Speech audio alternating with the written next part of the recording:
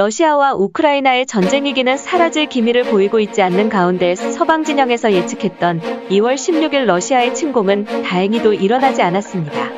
독일 총리와 면담을 마치고 나서 러시아 푸틴 대통령은 기자들과의 면담에서 러시아군 병력 일부를 철수시켰고 자신은 전쟁을 시작하고픈 생각이 없다고 말했습니다. 하지만 하루가 지나기도 전에 두 건의 폭격이 발생했다고 우크라이나 국방부는 합동군 작전지역 상황 보고를 발표했습니다.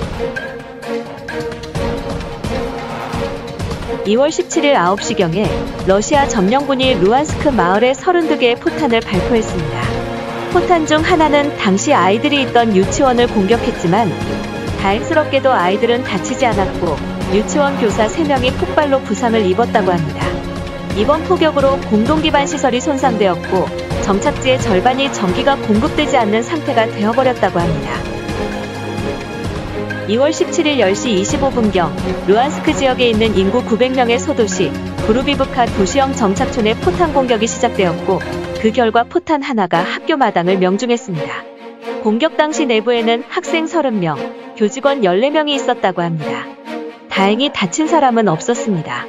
러시아군은 미스크 협정에 따라 금지된 122mm 박격포 공격으로 고압가스 파이프라인을 파손시켰고 아파트 70채와 민가 96채의 가스가 공급되지 않고 있다고 합니다.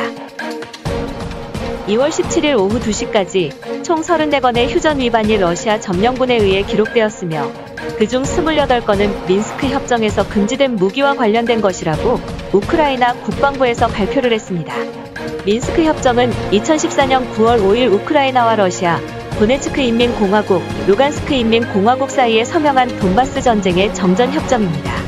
이 협정은 유럽 안보협력기구 OSCE의 중재 아래 벨라루스의 민스크에서 서명했으며 이 협정은 OSCE를 통한 휴전 모니터링과 검증을 하도록 규정하고 있습니다. 유럽 안보협력기구 OSCE는 안보협력을 위해 유럽과 중앙아시아, 북아메리카 등의 57개 국가가 가입되어 있는 세계에서 가장 큰 정부 간 협력기구입니다.